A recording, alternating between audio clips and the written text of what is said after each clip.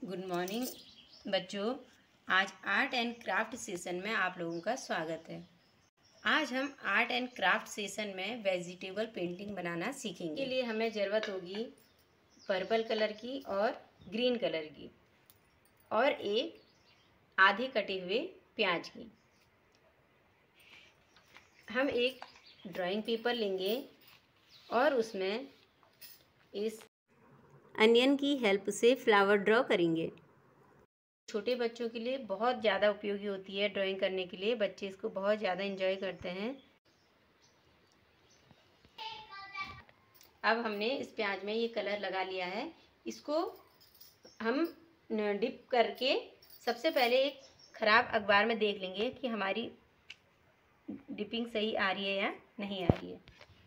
हम इस तरह से इसको घुमा लेंगे।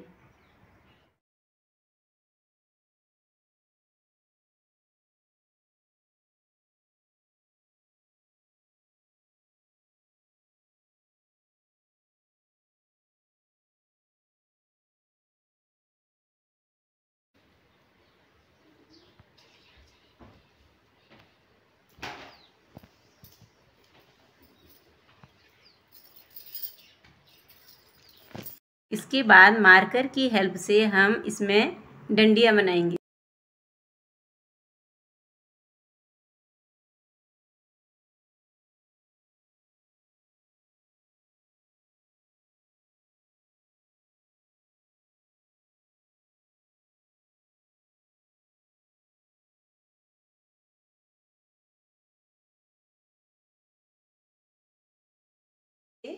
फ्लावर ड्रॉ करने के बाद हम एक छोटी कलियाँ बनाएँगे। जो छोटी छोटी सी कलियाँ हमको दिखाई देती हैं, उसको बनाएँगे। इसके लिए भी हम इसको डिप कर लेंगे कलर्स में।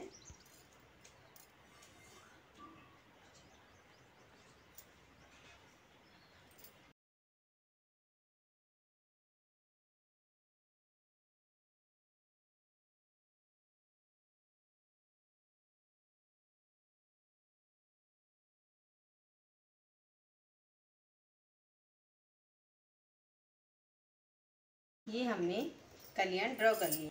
अब हम थम की हेल्प से थम को कलर में डिप करेंगे और थम की हेल्प से पत्ते ड्रॉ करेंगे। इस तरह से।